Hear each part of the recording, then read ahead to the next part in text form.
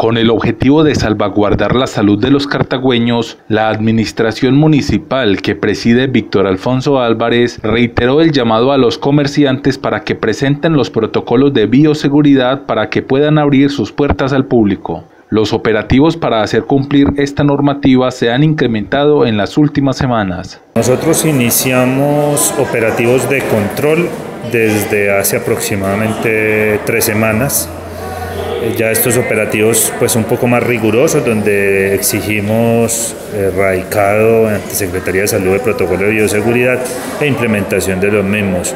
En los negocios que no han presentado radicado o que no tienen implementado el protocolo hemos tomado ya digamos acciones de cierres parciales hasta tanto el negocio no traiga eh, los protocolos y los radique.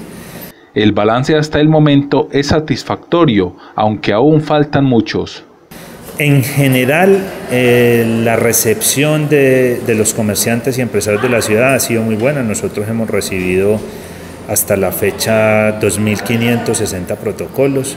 Entre la semana pasada y esta, cuando se eh, aumentaron los operativos, pues hemos recibido un promedio de 250, 300 protocolos por semana.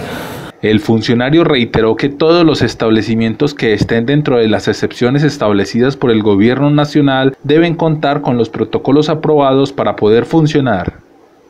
Estos eran negocios que inicialmente estuvieron exentos eh, cuando se iniciaron los procesos de cuarentena y que de pronto erróneamente creían que no tenían que erradicar protocolo porque al inicio de la cuarentena no se les pidió. Eh, hoy en día se les ha explicado por todos los medios que tienen que erradicar protocolo, todo establecimiento comercial tiene que erradicar protocolo de bioseguridad e implementarlo.